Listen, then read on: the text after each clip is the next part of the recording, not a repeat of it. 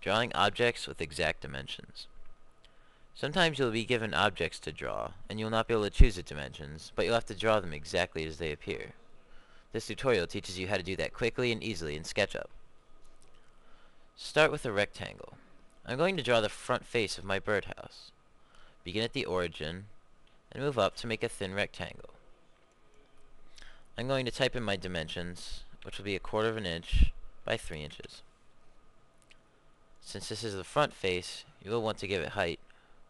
So use the push-pull and move it up by the amount your model specifies. I'll use 3 inches.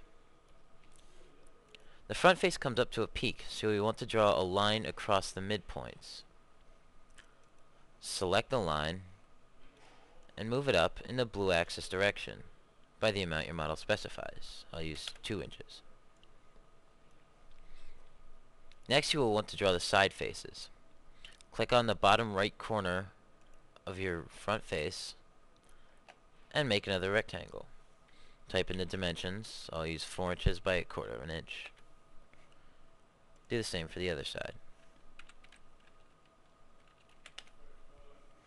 Next we want to draw the rear face, but it will be much more difficult if we will actually draw it again than it would just to copy it.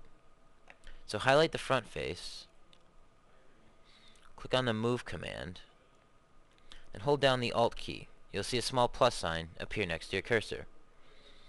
Click on the bottom left corner of the front face. When you move the mouse around, you'll notice instead of actually moving, you'll have actually made a copy of the face. Make sure you put that over the front corner of the other side of the birdhouse. Click to set and zoom out. Next, you'll want to give the sidewalls height.